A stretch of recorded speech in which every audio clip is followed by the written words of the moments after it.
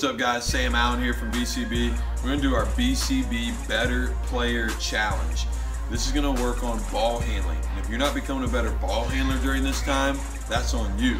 You can get out in the driveway, the street, the park, the living room, get it in. Don't find excuses, find ways to get it done. I'm gonna show you two things. One way to drill it, and then another way to challenge it and make it competitive. And so here it is. We're gonna work on a between the leg crossover move. Again, a between the leg crossover move. You can do it to your left and then do it to your right. Notice how I'm changing the heights of my dribble.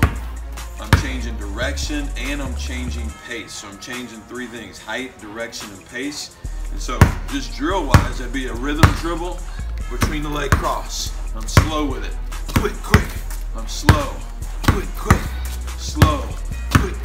You can do that going to your left, right. You can hit 10, 20, 30, even 40, 50 reps. Rep it out, drill it out, get used to it.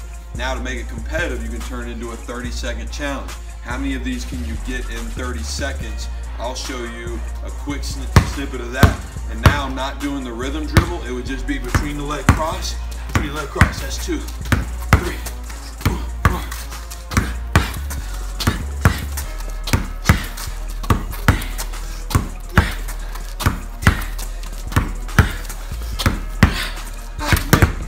and you may lose it. You got to keep going.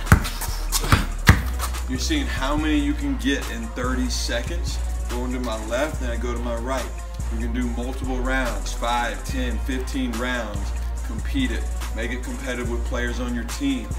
Push yourself. That's the BCB Better Player Challenge.